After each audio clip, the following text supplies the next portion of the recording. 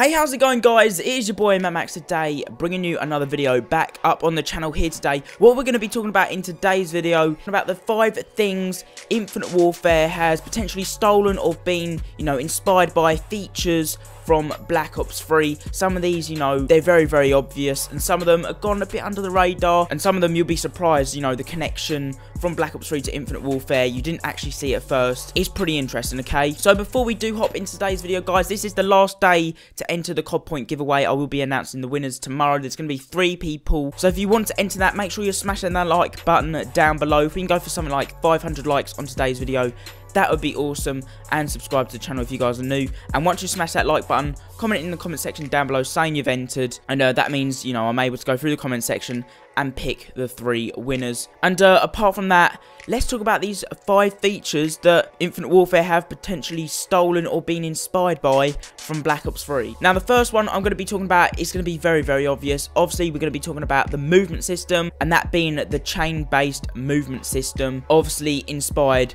from Black Ops 3. Now, it's already been said already and confirmed by Infinity Ward, obviously the people that are making Infinite Warfare, that saying that the concept behind the chain-based movement system is pretty much a carbon copy of Black Ops 3's, and that it is, you know, heavily inspired by it. Now, Black Ops 3 initially obviously took this idea and inspiration from Advanced Warfare. I know they'd been in production of the game before Advanced Warfare had released their game, but uh, the mechanics are all the same. Now, from Advanced Warfare, the chain-based movement system in that game was very irregular. You know, it wasn't as smooth in a way compared to Infinite Warfare. Black Ops 3 is kind of in the middle between Advanced Warfare and Infinite Warfare, and then Infinite Warfare, they've actually toned down the chain-based movement system, which I actually like. I prefer It's more closer to boots on the ground. You know, you don't have to use use that mechanic of jumping around tons just to get a kill within Infinite Warfare. A lot of the play is boots on the ground compared to Advanced Warfare. You know, a lot of the gunfights were won in the air, and then Black Ops 3 is kind of in the middle. And uh, I think what Infinite Warfare have done and Infinity Ward with the chain-based movement system within Infinite Warfare it's very, very good. It works very, very well. It's very smooth. And uh, I think it's a huge improvement on the movement system compared to Black Ops 3 in my opinion. Now, the second thing inspired from Black Ops 3 that Infinite Warfare has taken on board is the Pick 10 creator class system. I know we've seen this in plenty of Call of Duties in the past, but this year, when you look at it side by side, as you can see up on screen here, they are very, very similar indeed. The Pick 10 is kind of like the classic way to play. You know, games like Advanced Warfare, for instance, you are able to pick your score streaks as part of the class setup, which kind of took a point away. So it all depended on how many attachments you want, to how many kill streaks you want, and perks. It was a lot different. Obviously, Infinite Warfare being inspired by Black Ops 3, I've got to admit, the pick 10 creator class is probably the best way of going. And uh, this is kind of like a carbon copy takeover from Black Ops 3 that they've implemented within Infinite Warfare. It's another awesome feature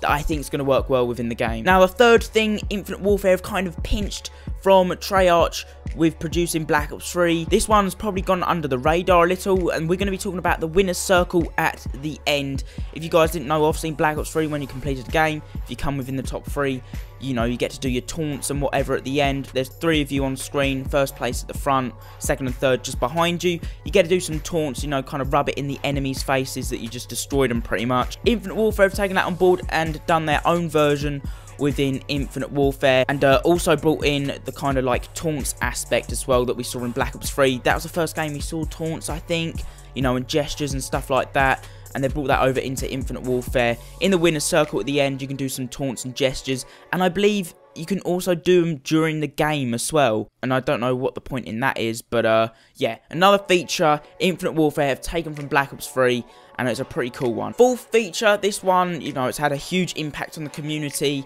That is the black market. With the success they saw in Advanced Warfare, for instance, you know, the amount of money they made on supply drops, they took that forward into Black Ops 3, obviously on Activision's part. You know, they want to implement supply drops because it's a big money maker for them. They've obviously said to all the producers of the Call of Duty titles, hey, you're going to have to implement this into the game because it's a big money maker. I think last year on Black Ops 3, they made like twice as much money just on in-game sales of supply drops and stuff like that than they did on the sales of the games.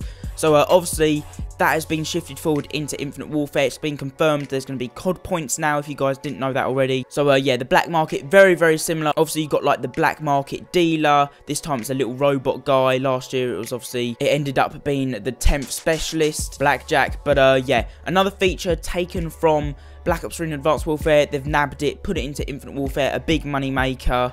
You know, the black market, you know, is a huge thing, especially getting variants of guns. I know this year it's a lot better. You can use salvage, you know, unlock guns. But if you didn't want to do it that way, you can open a ton of supply drops and potentially get it like that as well. Now, the fifth and final point I wanted to talk about, this is a huge thing, is specialists. Obviously, Black Ops 3 was the first year we saw specialists.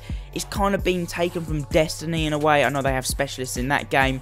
That was pinched, put into Black Ops 3. It played a huge part in the game. Not going to lie, I'm not a huge fan of the specialist. I kind of feel like it, it mixes up the consistency of the game too much in a way. You know, your whole team could be holding down a hard point, holding it down. Someone just can jump in with heat wave and take all of you out, you know. It, for competitive reasons as well, you know, when you're playing competitive play, it influences the game an absolute ton. So uh, obviously they've transferred that into Infinite Warfare, such as rigs. From what we saw in the beta, they're pretty overpowered. They last quite a long time. They take quite a long time to work up to. But uh, once you got them, they're pretty dominant. Obviously, they've taken this from Black Ops 3. I don't know if I'm a fan of them or not. You know, just going to have to see how it plays out. But guys, that is going to wrap up today's video. That is the five features stolen or kind of inspired by from Black Ops 3 uh, put into Infinite Warfare. Guys, like I said, if you could smash a like on today's video, that'd be awesome. Subscribe to the channel if you guys are new. And uh, make sure to comment in the comment section down below to enter that COD point giveaway. I'll catch you guys next next video. It's been your boy MacMacs. Peace out.